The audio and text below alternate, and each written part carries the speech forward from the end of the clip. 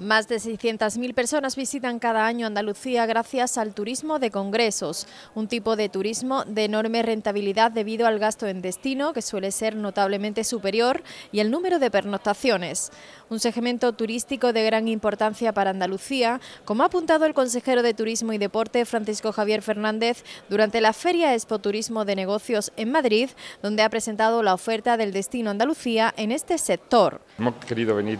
a esta feria precisamente para promocionar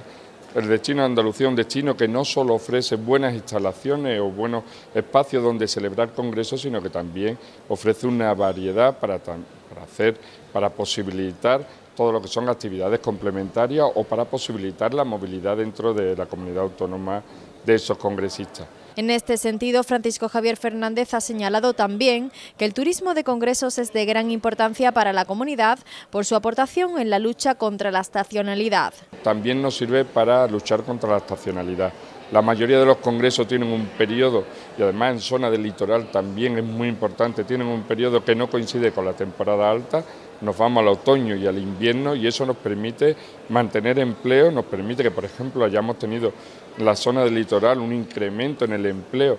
eh, en comparación con el mismo periodo del año pasado de prácticamente un 2%, porque también se vincula a ese tipo de actividad que no la actividad turística tradicional, sino que la actividad de congresos. De hecho, Andalucía contará a partir de septiembre de 2018 con un nuevo espacio de celebraciones con la reapertura del Palacio de Congresos de Córdoba. Hemos querido estar en esta feria también con el protagonismo de Córdoba. Era un compromiso que la Junta de Andalucía tenía con el Palacio de Congreso de Córdoba que se va a reabrir en este otoño y nosotros queríamos estar, porque fue un compromiso que hicimos tanto con el Ayuntamiento como con los empresarios de Córdoba, queríamos empezar ya a promocionar el Palacio de Congreso de Córdoba de forma especial, porque creo que Córdoba también reúne esas condiciones especiales que puede hacer aún más atractivo no solo celebrar congresos, sino visitar Córdoba y fidelizar también Córdoba como destino de reuniones y congresos. El Palacio de Congresos de Córdoba contará en una primera fase con alrededor de mil plazas